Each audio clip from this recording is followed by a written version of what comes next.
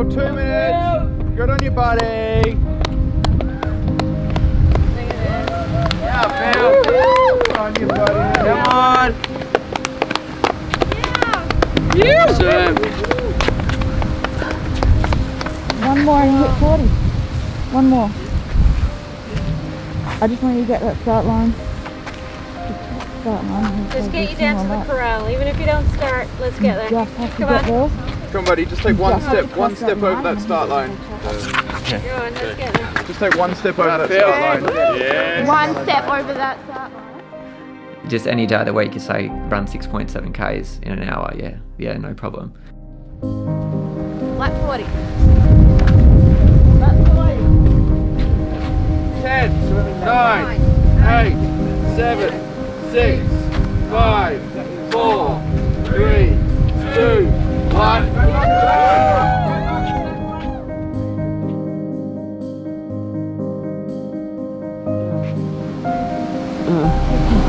It's okay. 39 laps done. I just wasn't prepared to be going that far.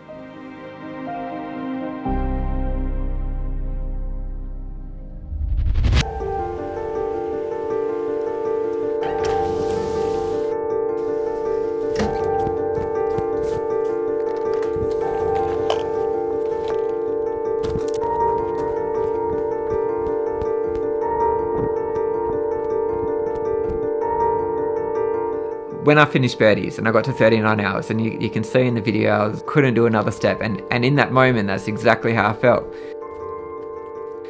But then you always think back on it, and you always think, maybe I could have done another lap.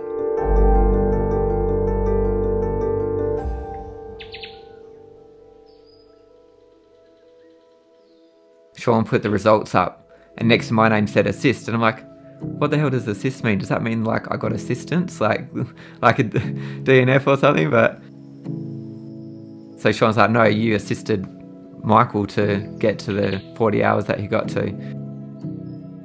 For me, that was just getting second place, and I was stoked with that because that was way beyond my initial expectations. But at the same time, I was like, I was so close to, you know, if I if I could hang on a little bit longer. But it's like with these events, you don't know how much longer you need to hang on for.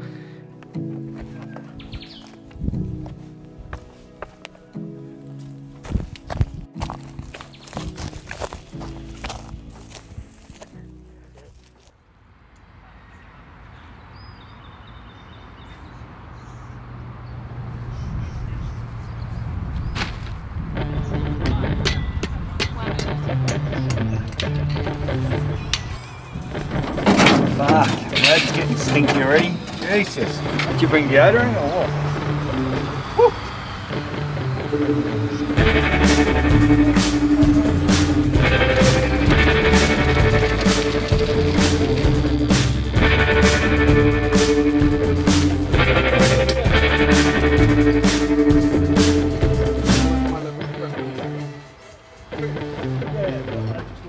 with Birdy's, I knew I could get to 24 hours. I'm not probably planned for 24 hours.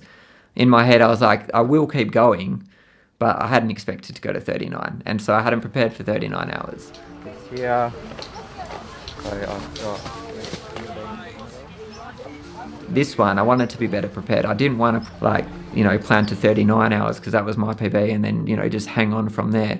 So I was looking at what's been done before. So Australian record, let's put that down as one of the milestones. And then, you know, where can we go from there? World record. Are we going to get to the world record? I don't know if it's realistic to, to aim for that or not. So I put my plan up to 75 hours. That 75 hours had taken me three lines onto a new page. So I filled the page up, I went to 96 hours. I'm like, well, that's good. I'll, I'll come into this over prepared. So everything that I can control, what food I'm eating, what pace I'm running at, what shoes I'm going to wear, all of that, I've got it all planned out. I've got contingencies for everything. ones are raw. Yeah. These are already hard boiled. I kind of see it a bit like the beep test. Like the beep test is designed that you're going to fail at some point before. Same sort of idea, like 96 hours, it just seems ridiculous to get to there.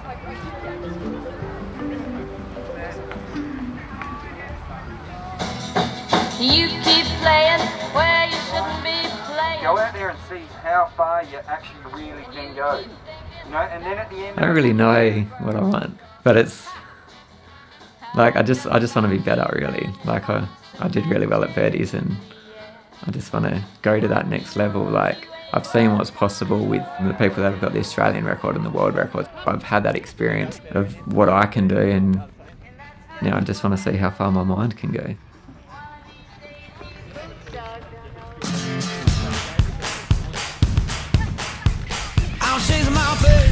Keep running. Time out or bust. I find no luck in a wishing well. This road I'm on ain't no sure way to beat the struggle. There's a price to pay.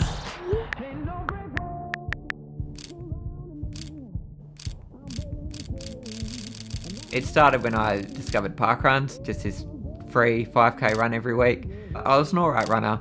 I was still doing around the 20 minutes for 5k, but I wanted to get better. And I'm like, if I do like 5ks every day, then surely I'll get better at it over time.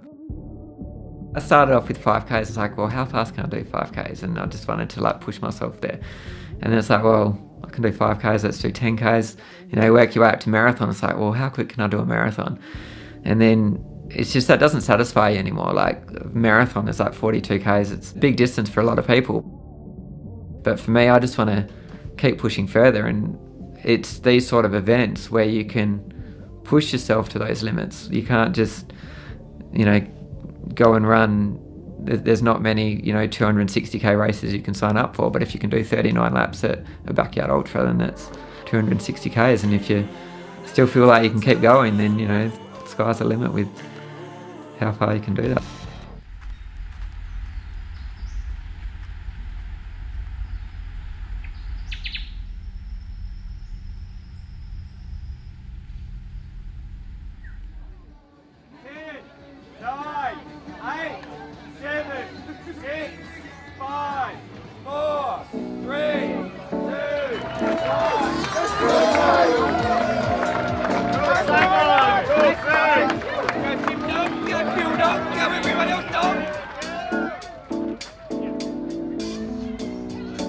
Okay, so we're doing at a one to five mood. Started at a four and we're keeping it at a four at the moment.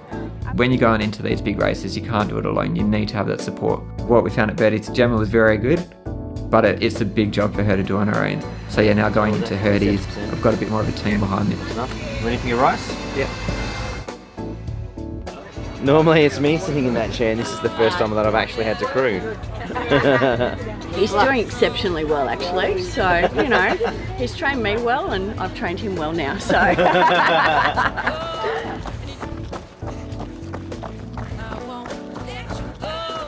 So I think running itself is, is a solo activity. Like you're out there, you're the one doing all the laps.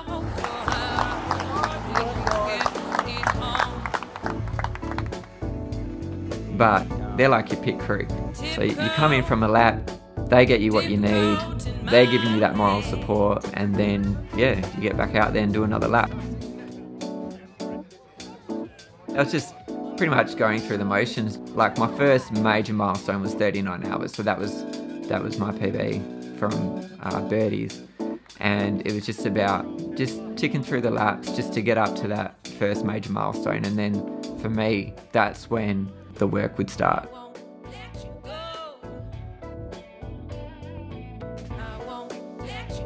So I guess that first 39 hours you can see as like a warm up or, or something. Um, I don't know if you put that in, that might put a lot of people off.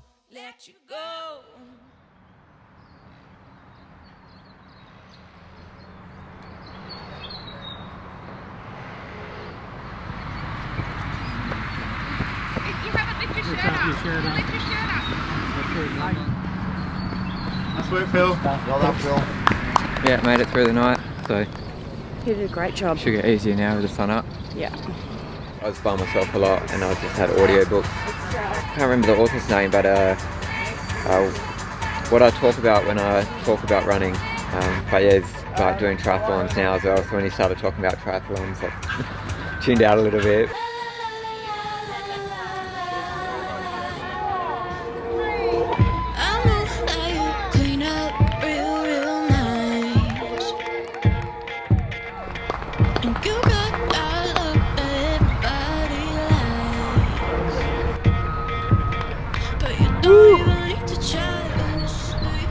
Yeah, I'm nearly done. One more, one more lap, eh? Think it, say it like you. That's the way I like it. Always keep it classic. Dazzle like a sapphire. Uh, he's a little bit, quite a bit down. We'll get some more feed into him. But yeah, the sun's starting to become, it's going to become an issue pretty soon. So we're trying to stay on top of just keeping him cool. He'll be fine. He'll go up and down, up and down like a roller coaster the whole time. So Yeah, I think I just got to stay positive. I'll whinge when he's not here, but then as soon as he comes in, game face and I'm all positive and happy again.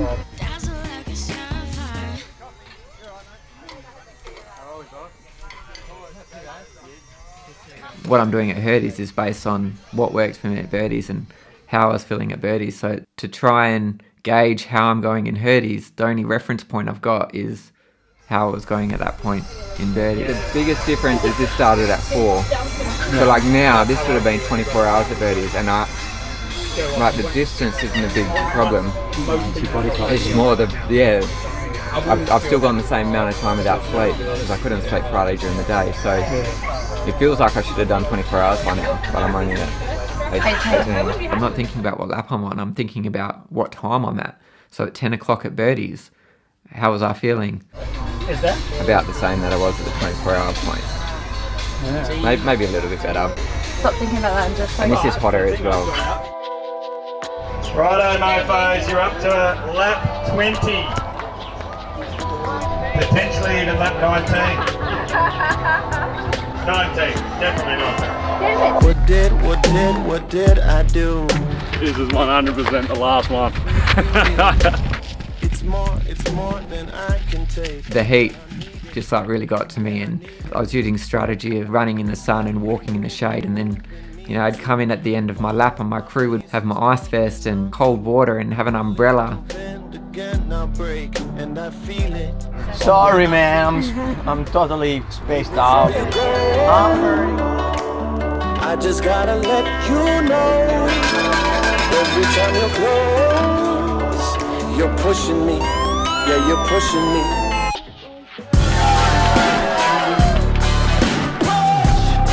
Mentally I'm still good, it's just physically I'm starting to feel like I'm breaking.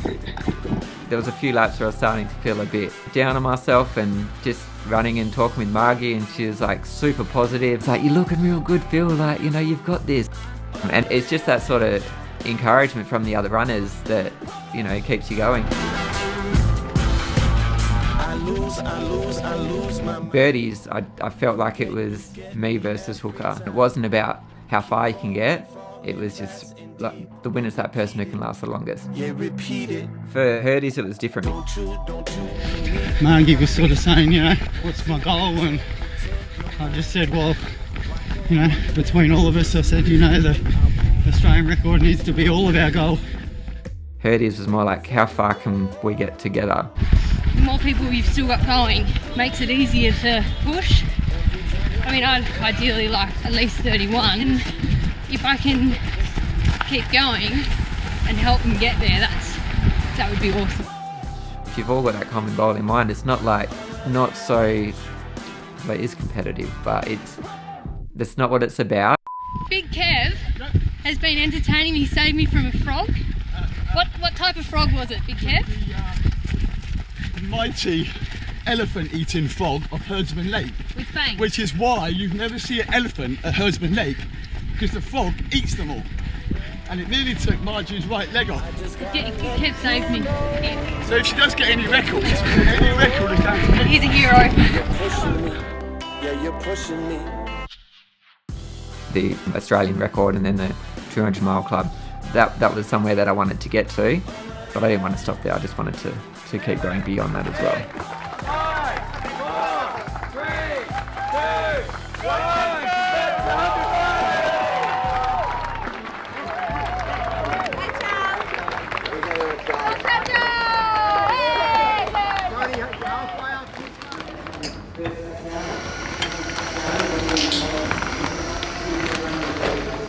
Like the old days when they used to do this.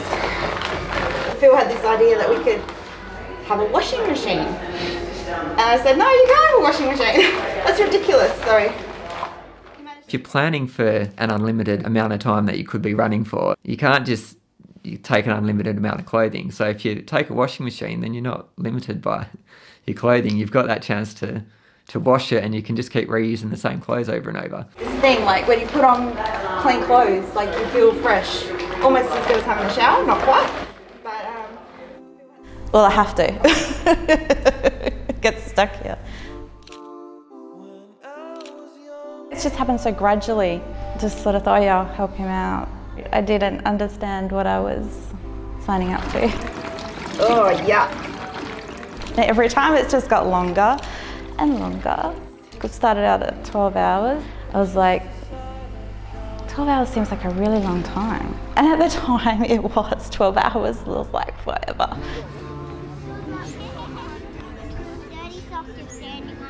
Afterwards I was exhausted, but I was also just like, it just gives you this buzz.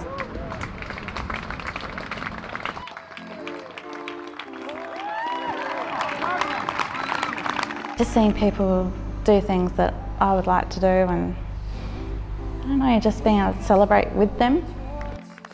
It's how ecstatic they are.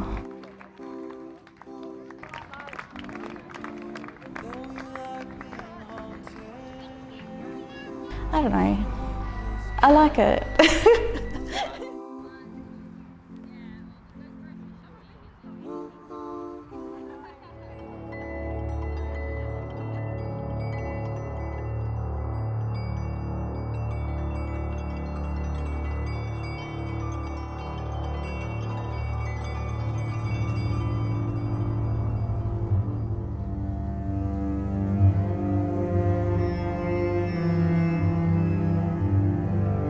I didn't know until the end of that lap, but I saw Margie standing like just at that last corner before the finish, and she just said to me, "You've got this, Phil.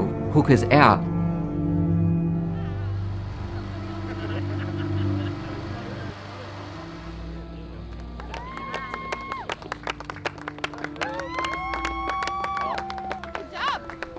Couldn't keep going, man. My guts was just playing up too long. People always thought it was going to be me and Hooker at the end, like going for the Australian record together. I only rated a four. I don't know. I thought he'd be more excited when he crossed the line, but no, still got his game face on, which is good. You're amazing, man. might be. No, no, no. Trust me, I don't feel amazing at the moment. When Hooker dropped out, it was like, you know, the reins had been passed to Kev. What's your name, mate? Kevin. Kevin Matthews. Kevin Matthews. I'm pleased to have the opportunity. You should have walked away a long time ago. You go for the record? I talked with him and his goal was 36 hours. So for me, I had like a range of emotions go through my head. First of all, I I was ecstatic that oh, I'm in with a really good chance of the last one standing now. But also at the same time, I was like bummed because like, well, I had all these ambitions for getting to the Australian record and beyond, and that seems unlikely now. Also, just like a sense of relief, like this this could be over soon. This one has been vastly different to Birdy's because when I, once I got to the daytime, it was great and I was I was doing really well. But the daytime on this one, it was so hot. I just wanted the night to come back around. Now that the night's here, I'm like, I need the day to come around. Nice, man. Let's go. Thank you, thank you.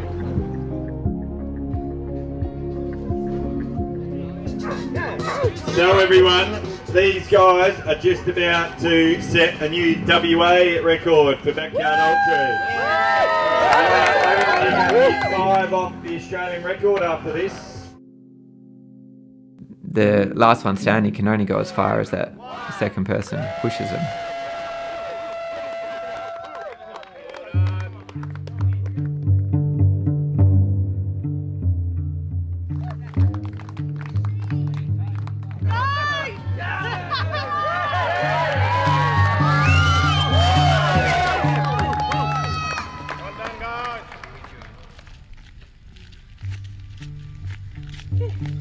Chat as we go around, and uh, and Kev would be like, "Oh, that's it. This is my last lap. Like, I'm sorry, I, I can't go anymore for you." And I was kind of like in two minds. Like, I wanted to kind of push him to to keep trying, and even not just for me to get me to my milestones, but for him to to push and find his limits.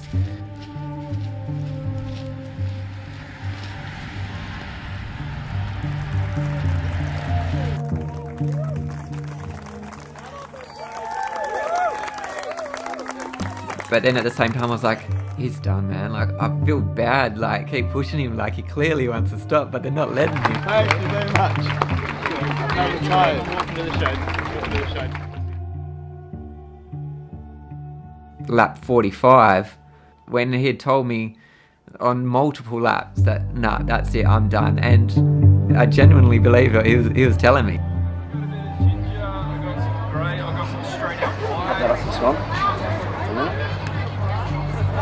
Not going to be just two more. It's going to be three more. No, it's not. No, no, It's mate. going to be four more, No. so he can have two turn tomatoes. No. Do you think really that? One lap I the... thought he was destroyed at that one.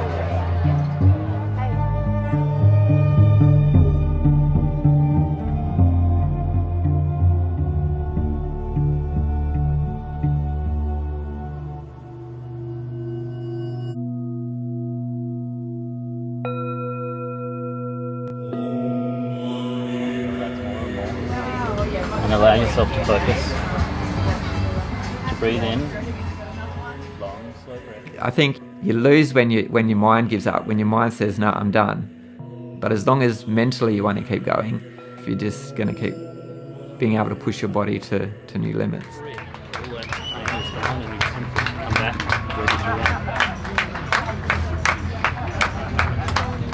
Let's go. Is that the one who's taken out? I just I just didn't want to give up at any point. I didn't want to just say, no, I can't do this lap.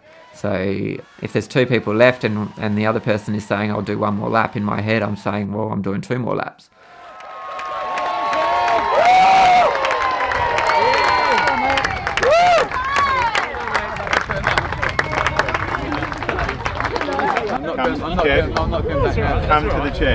He was looking pretty bad from like around the 40 hour mark, but it, wasn't like he'd got worse. He's still at that same point. I'm like, well, if he's done five hours at that at that level, like he can do it another five hours.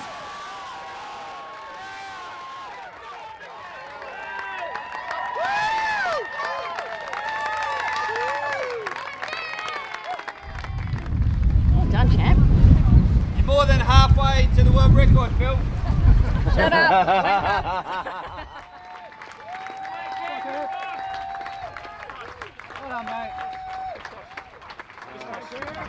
Okay, I'm going to share a little something with you from, from some people that we sent me some messages. While you're walking. All right, While you're No, we're going to get it. That was when I made the switch. Like, as long as he finishes the lap, he's going to be starting the next one. So I've got to start thinking long term again. Okay.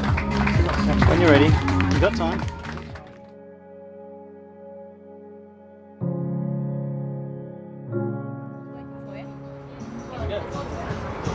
That lap, it just felt like longer than an. Like, I got to like towards the end and I'm like, how long have I bloody been on this course for this hour? Like,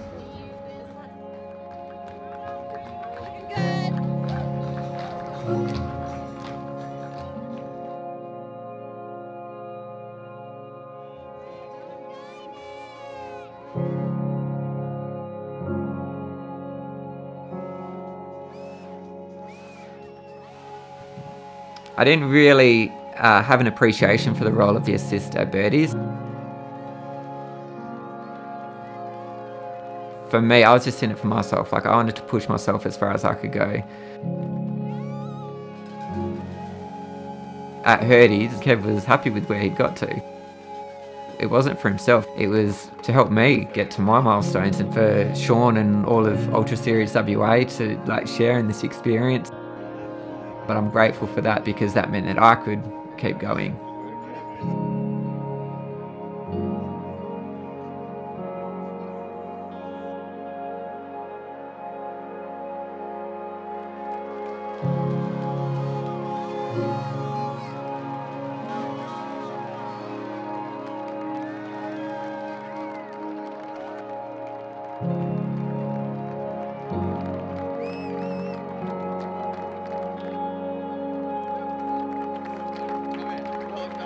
I might have not found my limits, but I went as far as I could go because that assist had dropped out. So that, that decision had been taken out of the process for me.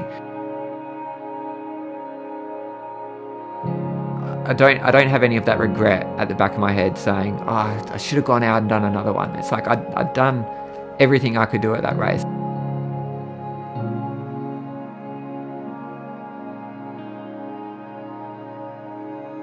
I'd done a lot more than what I was going to do if, if Kev had dropped out. So uh, I'm not I'm not left wondering at the end could I have could I have done another lap because I know in my head yes I could have gone another lap. I'm I'm more wondering now how many more laps could I have gone. You keep playing where you shouldn't be playing. And you never. Ha! I just found me a brand new box of matches, yeah. And what he knows you ain't had time to learn. These boots are made for walking, and that's just what they'll do. One of these days, these boots are gonna walk all over